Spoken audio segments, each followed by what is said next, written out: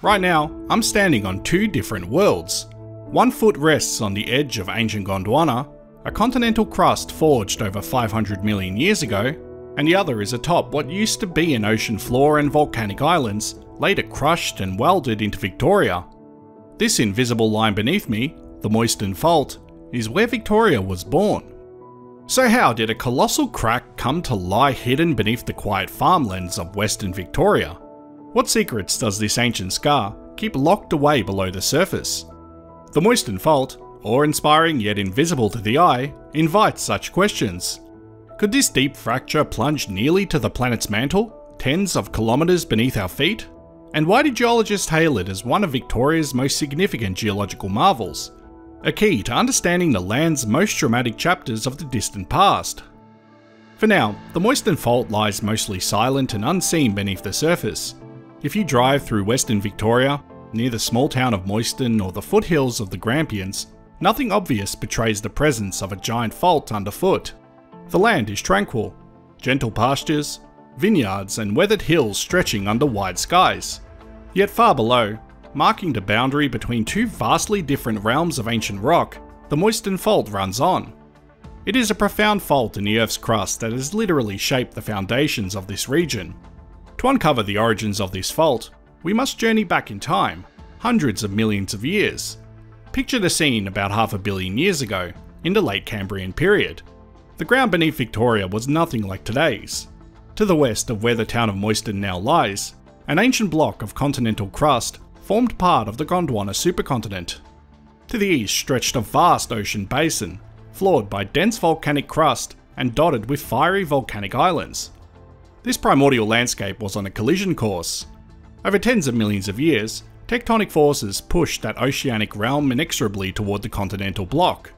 The dense ocean floor began to descend beneath the edge of the western landmass in a process called subduction. As the ocean basin gradually closed, molten rock from the sinking plate filled arcs of volcanoes along the continental margin. At the same time, not all of the seafloor was consumed. Some chunks of oceanic crust and island arcs were scraped off and welded onto the continent's flank instead of sliding into the depths. The pressure between the converging plates built and built, silently warping the crust until eventually it reached a breaking point. Around 500 million years ago, that pressure was released in a violent crescendo. The colliding plates unleashed a mountain building cataclysm that geologists call the Delamerian orogeny. The Earth's crust crumpled like a rug shoved against a wall. Layers of rock buckled and stacked atop one another along massive thrust faults. Some sections of crust were forced deep underground, so deep that heat and pressure transformed them into new metamorphic rocks. The ground heaved with powerful earthquakes, and volcanoes erupted as the intense compression sought any outlet. Amid this upheaval, an ancient volcanic island arc, now known as the Stavely Arc, was caught in the crush. This arc had formed earlier, along a subduction zone on the oceanic margin of Gondwana, erupting with basalt and andesite in the Cambrian seas. But during the Delamerian orogeny, it was violently accreted onto the continental edge. The once active arc, a fiery chain of volcanic islands, was now gripped by tectonic forces that folded, faulted, and partially buried it. What had once been submarine lava flows and volcanic ash was transformed into greenstones and schists, caught up in the roots of rising mountains. The Stavely Arc became a prisoner of the mountain building event, a volcanic past frozen in stone, welded forever into the growing bones of Australia. This arc was, surprisingly, only recently discovered thanks to geophysical tools like magnetics, and it is now under investigation to unlock the mineral riches of copper and gold that remain hidden beneath the sediments of the Murray and Otway Basin. When the fury finally subsided, the geography of Victoria was forever transformed. A towering range of mountains now stood where an ocean had once been, and running beneath those newborn mountains was the great suture where two pieces of the crust had become one, the Moyston Fault. Now, speaking of keeping things together, this video is sponsored by Odoo, the all-in-one business platform that helps you streamline the moving parts of your business. And today I want to highlight one of its most useful features, invoicing, available inside both the accounting app and the website app if you're running an e-commerce store. Creating an invoice of Odoo takes just a few clicks. It pulls in your products, customer info, taxes, everything's ready to go, and you can fully customize the layout to fit your brand, from logo and font to colour and style.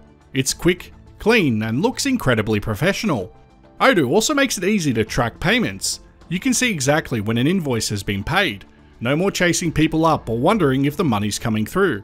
Regional taxes are calculated automatically, and a dashboard gives you a real-time view of all payment statuses, including partial payments. When you send the invoice by email, your customer can pay right away using PayPal, credit card, debit card and more, directly from the Odoo portal. There's no need for a separate payment system. So whether you're managing your books or running an online store, Odoo's invoicing tools make getting paid easy. To try it out, head to the link in the description or the pinned comment and get started for free. Thanks to Odoo for sponsoring this video. It was along this line that rocks on the west and rocks on the east were forever joined, though each side retained a different memory of its origins. For the rocks west of the Moyston Fault, the Delamerian orogeny was the climax of their upheaval. After that, they lay mostly silent, gradually wearing down over time. But to the east of the fault, the story was far from over. About 50 million years later, in the Ordovician period, new tectonic forces ignited other sequences of mountain building events in eastern Victoria. Over the next 100 million years or so, a series of geologic convulsions, collectively known as the Lachlan orogeny, folded, faulted, and uplifted the crust on the eastern side of the state. The goldfields of Ballarat and Bendigo were created during these events. The land east of the Moyston Fault was repeatedly reshaped, while the land to the west remained comparatively stable. During those later upheavals, the sedimentary and volcanic layers east of the Moyston Fault were crumpled and fractured into complex folds. Each crack opened, and along these fissures, hot mineral rich waters flowed, depositing quartz veins laced with gold deep into bedrock. Meanwhile, on the western side, the ancient crust experienced little of this chaos. The mountains raised by the Delamerian collision long before had been steadily eroding into gentler hills. Over time, the contrast became stark. East of the Moyston Fault rose rugged gold-bearing highlands, born of later orogenies, while west of it lay quieter hills of much older, already weathered rock. By the end of the Paleozoic era, around 250 million years ago, the grand drama of mountain building in Victoria had drawn to a close. The once lofty ranges on both sides of the Moyston Fault were steadily worn down by wind and rain into rolling hills. Australia found itself part of the stable interior of the supercontinent Gondwana, and the Moyston Fault, having been the scene of titanic collisions, fell into a long silence. In the Mesozoic era, the time of dinosaurs, when Gondwana began to break apart and new rift valleys opened in what is now southern Australia, even those distant events did little to awaken the slumbering Moyston Fault. This ancient line in the crust remained a dormant weakness. It may have subtly influenced where later earthquakes struck or where sediments collected into basins, but it never again unleashed the kind of upheaval it had in the Paleozoic. Over the eons, the fault zone was buried under newer layers of rock, Eventually, volcanic plains and fertile soils covered the region, masking any trace of the deep scar below. To a casual observer, the location of the Moyston Fault became indistinguishable on the surface, its epic tale hidden in a geological record and revealed only through scientific investigation. Indeed, it is through science that the Moyston Fault's presence and enormity have been brought to light. Geologists mapping Victoria noticed that to the west of a certain north-south line, the bedrock consists of very different material than the bedrock just to the east. On the west side, they found ancient igneous and metamorphic rocks that had been deformed in the early Cambrian collision, whereas on the east side they found younger sedimentary and volcanic rocks with entirely different structures. This stark contrast in rock types was a crucial clue to the fault's location. In addition, sensitive gravity and magnetic surveys detected a long, linear zone where the properties of the underlying rocks change abruptly, corroborating the existence of a major boundary underground. To probe even deeper, scientists conducted seismic reflection studies, essentially an ultrasound of the Earth's crust along this zone. The seismic waves revealed the subsurface structure. There, dipping gently eastward, was the signature of the Moyston Fault slicing down through the crust. Astonishingly, the seismic data showed the fault plane extending roughly 30 to 40 kilometers into the Earth, essentially reaching the base of the crust where it meets the mantle. In other words, this is no mere surface crack, but a colossal structure cutting through the entire thickness of the continental crust.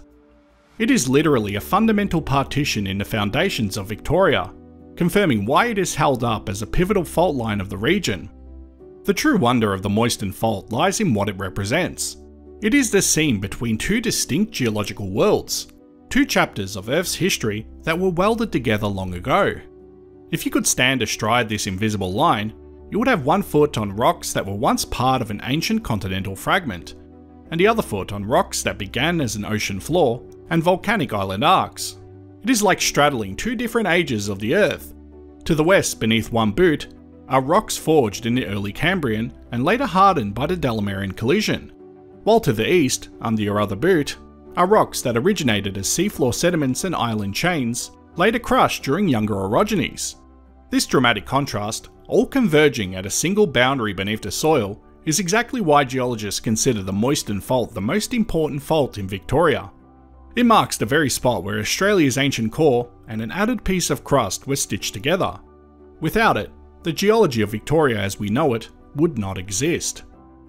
I hope you found this as interesting as I did, and as always, thanks for watching. Before I end this video, I'd like to give a big shout out to my Patreon and YouTube members. Thank you so much to everyone that helps to support this channel.